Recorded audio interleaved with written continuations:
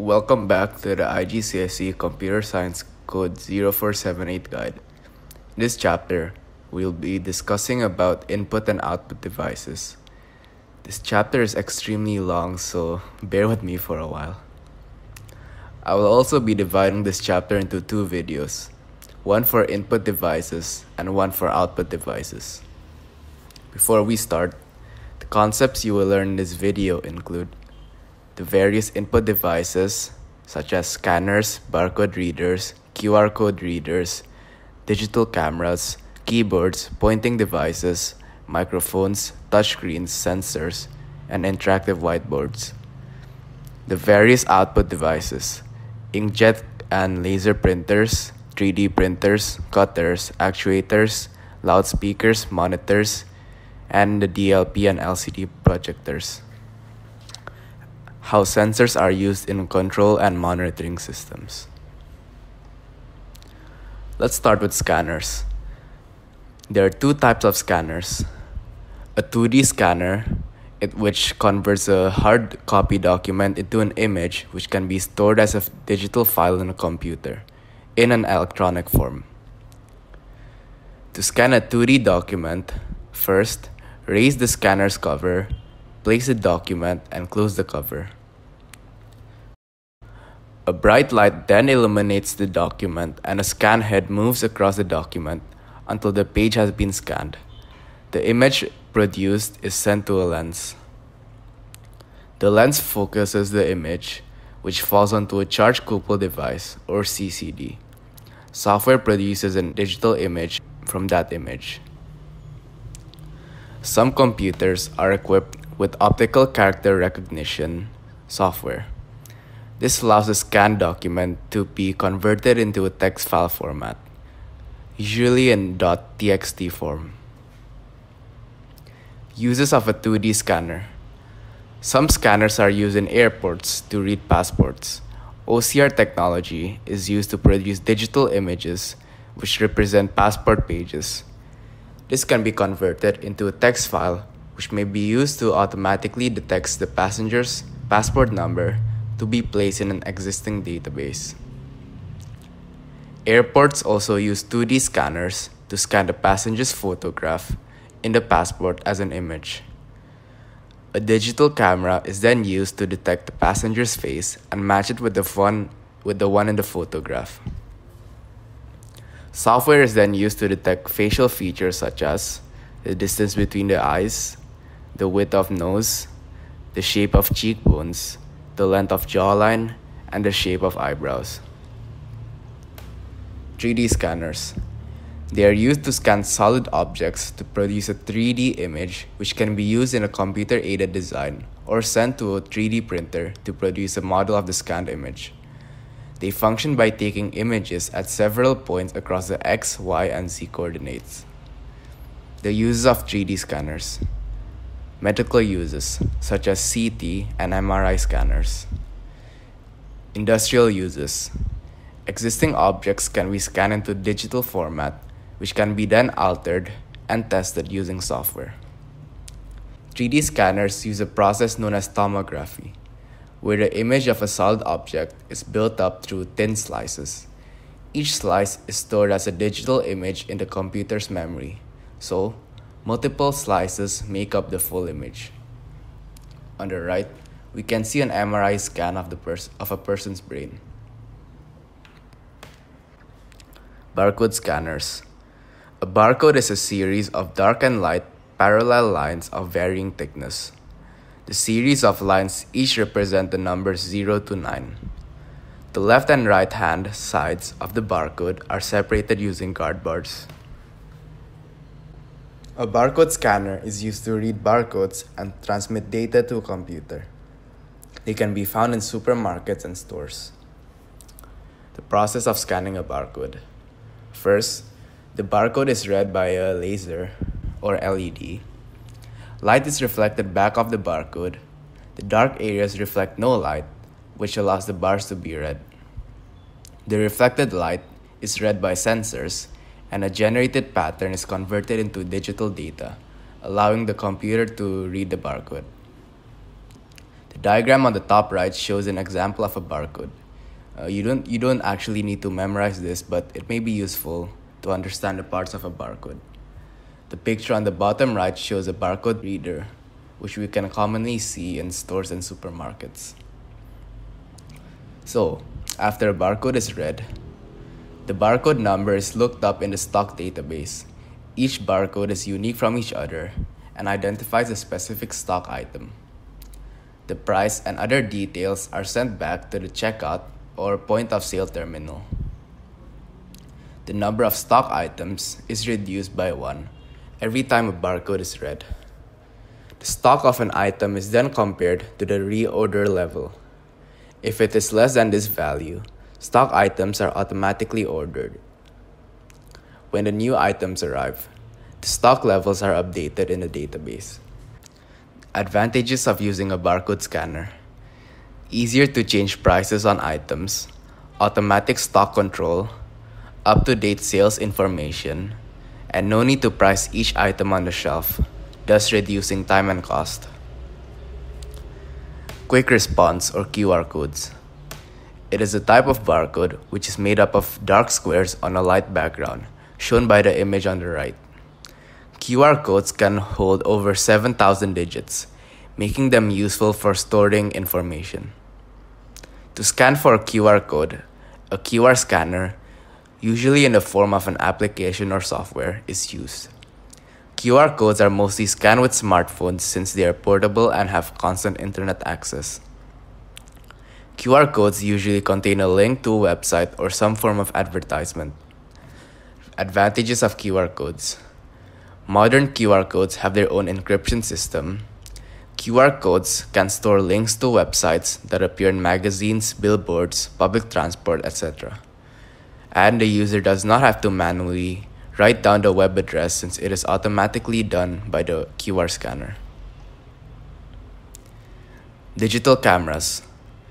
They are used to capture images and videos digitally. Modern digital cameras can be linked to a computer via a USB port or Bluetooth. In fact, almost every camera we use today are digital cameras. Digital cameras are usually controlled by a microprocessor which can automatically adjust the shutter speed, adjust the aperture size, adjust the size of the image, remove red eyes when flash is used, and also flash automatically, and to focus the image automatically. How digital cameras operate. The photograph is captured when light passes through the camera's lens into a grid of pixels, or light sensitive cells. We will learn more about pixels in Chapter 6. A shutter opens to allow light to pass through a CCD sensor at the back of the lens, which determines the color and light intensity of the image. Number of pixels determine the file size of the image. Keyboards. They are the most common method used for data entry. Keyboards can be connected to the computer, either through a USB cable or a wi- wireless connection. Tablets and mobile phones have a virtual key- keyboard, which is part of touchscreen technology. We will discuss about this later. Sometimes, a special keyboard known as an ergonomic keyboard is used in industries where typing is fre- frequently utilized. The Special placement of keys and support on ergonomic keyboards reduce hand injuries such as the repetitive strain injury or RSI. On the right, we can see that the structure of an ergonomic keyboard is designed to support the operator's hand and wrist. Pointing devices. They are used to click on icons in order to select an application on a computer screen. The most common pointing device is a mouse, which comes in various forms. 1. Traditional mechanical ball arrangement. 2. Modern types that use LEDs to detect movement in the X and Y directions. And 3. Mice that use either one of the above types but use wireless connections such as Bluetooth. Sometimes, tracker balls are used in industries such as a control room. They do not need as much desk space and reduce injuries such as RSI. Laptops also have a built-in touchpad which detects the user's movement on the surface of the pad using a tactile sensor. Buttons to the left and right of the touchpad perform the same functions as the left and right buttons of a mouse. In the first picture, we can see a mechanical ball mouse. The second one is an LED mouse. The third one is a wireless USB mouse. And the fourth one is a wireless USB tracker ball mouse. Microphones. They are used to input sound to a computer. They can be built into the computer or connected via USB. When a microphone picks up a sound, a diaphragm vibrates which produces electrical signals that pass through a sound card. The sound card then converts the signals into digital values stored in a computer. Microphones can be used for voiceovers in a presentation, such as this video you're watching, a speech recognition system, a voice recognition system, and enabling a disabled person to communicate with a computer. In a voice recognition system, the user speaks a few words, which the sound card converts into a digital wave pattern. This is stored in the computer's memory. The next time the user speaks, the current wave patterns are matched with the stored wave pattern using software. If they match, the user is identified and access is granted. Only certain words can be detected since the system is not very complex. Voice recognition can be used in security systems. In a speech recognition system, the user's spoken words are recognized using software and shown on the user screen on or a word processor. This uses more complex technology than voice recognitions. Examples of speech recognition systems are Siri and Amazon Alexa. Touchscreens it utilizes touch to carry out functions of pointing devices such as a mouse, usually used in mobile phones.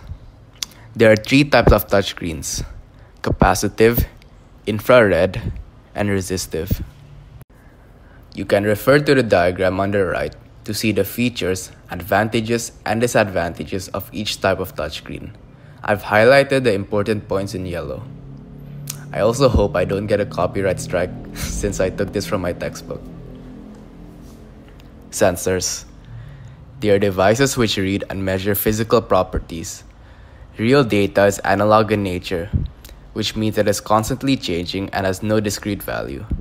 However, computers cannot make out these physical quantities, which is why data needs to be converted into a digital format. This is done using an analog to digital converter. ADC, a device that converts analog physical quantities into discrete digital values. Sometimes, computers also use a digital to analog converter, DAC, to control devices such as a motor or a valve. Frequently, an actuator, which is an electro- electromechanical device, such as a relay or solenoid, is also used to control devices. Here are the main types of sensors, each with an example.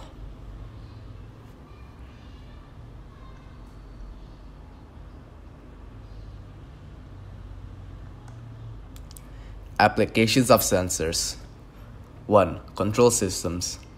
They are able to control and alter a process depending on the conditions. If conditions are outside the acceptable range, the microprocessor sends signals to control a motor, valve, etc. For example, turning street lights on and off during the daylight. Regulating air conditioning or heating systems. Changing traffic lights at a road junction. 2. Monitoring systems.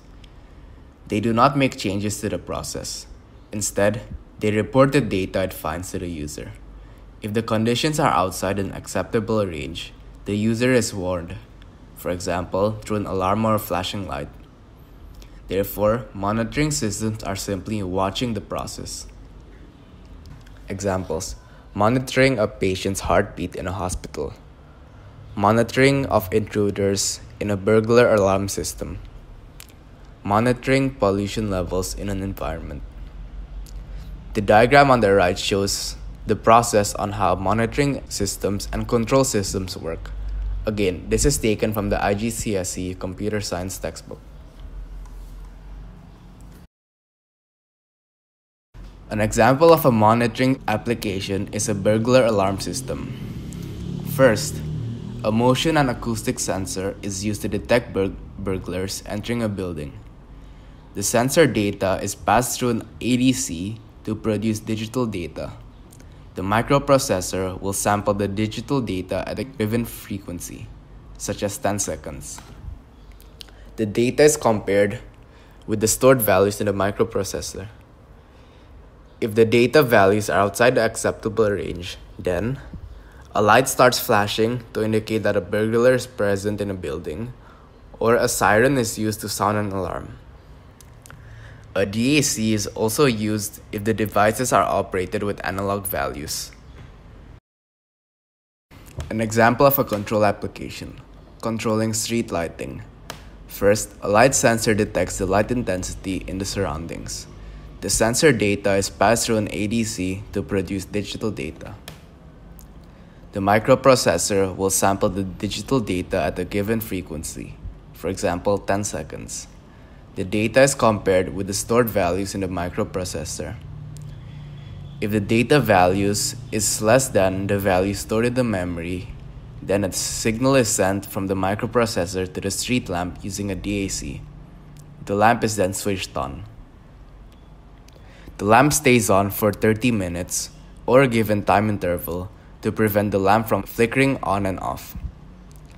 If the data values is more or equal to the value stored in the memory, then a signal is sent from the microprocessor to the street lamp using a DAC. The lamp is switched off. The lamp stays off for 30 minutes or a given time interval to prevent the lamp from flickering on and off. And the last input device is the interactive whiteboard, which are devices that allow computer images to be displayed on a whiteboard using a digital projector.